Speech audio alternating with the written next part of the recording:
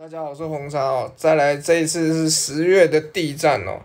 那地战的话，来个赛前分析跟有奖竞猜哦。那这一届的话呢，其实有蛮多的人都已经就是像那个四国啊，有两三队都没有参赛了哦，所以这一场的可看性是不高的。但是呢，一三区哦，我觉得还是非常的有看头的哦，可以来看一下哦。北平啊，像真红 L I U K K 一定都留下来。火龙小弟打五道哦，五道一定是赢的啦，不用看了。然后天下无双打三哥，我觉得两只都是势均力敌哦，那应该都会一起留下来哦。因为如果是天下无双打夏德，我就一定是想说夏德早早出去，但三哥真的也蛮强的哦。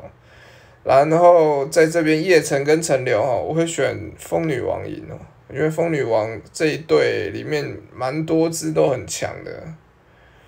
好了，再来第二区有没什么好看头的哦？第二区的话，萧峰殿啊，然后 T G 平安公主 Y U Y U W A 哦，通通都留下来。那第三区哦，第三区的话，燕打爱国哦，其实我会觉得我私心希望爱国赢，但是呢。燕的胜率真的比较大哦，然后建安打豫章哦，那个建豫章的我都叫他胖虎哦，胖虎也是豪华队，我觉得他会赢。然后长沙贵阳是我们两大日本国的主力哦，碰跟切完。然后零零跟五零哦，两支的话都会留下来。如果这一场哦是英兴丸打豫章的胖虎的话。那第三区就很有看头，有点可惜啦，不过也也是还蛮有看头的，到时候看吴俊谁会赢呢？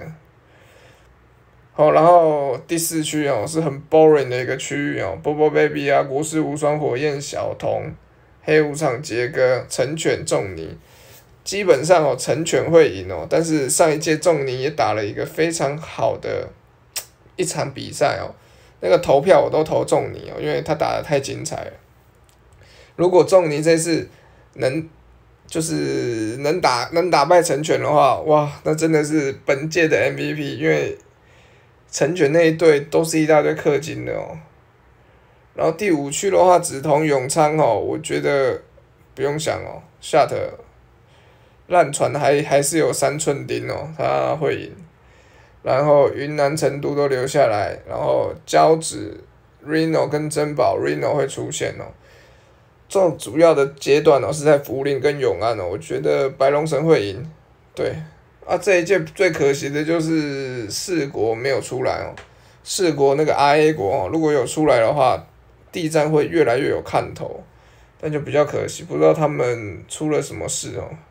啊，日本人都比较排外，所以我也没有什么相关的资讯。好了，那今天就是这个有奖竞猜啊！如果有任何的想法、意见呢，都可以留言底下分享哦。好，那我今天影片就到这边，谢谢大家。